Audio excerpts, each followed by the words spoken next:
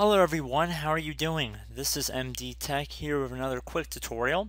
Today I'm going to show you guys how to resolve the operations cannot be completed error 0x0000709. So if you're unable to set your default printer, this tutorial will hopefully resolve the problem for you without too much of a hassle. So we're going to start by heading over and left clicking on the start button once to open it up. And now you want to type in regedit. Best match that comes up should say regedit you want to right click on it and then left click on run as administrator. If you receive a user account control window, you want to select yes. This is from a previous tutorial here, so let me just back out of all this for you guys.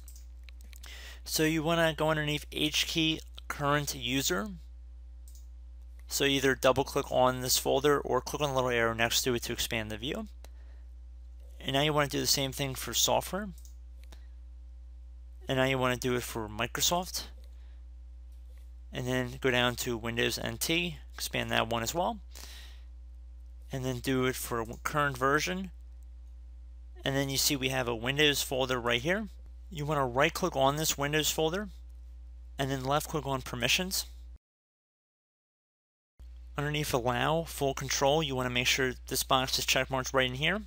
And then click on apply and OK. And now I'd recommend restarting your computer and then attempt to set the default printer and hopefully your problem has been resolved.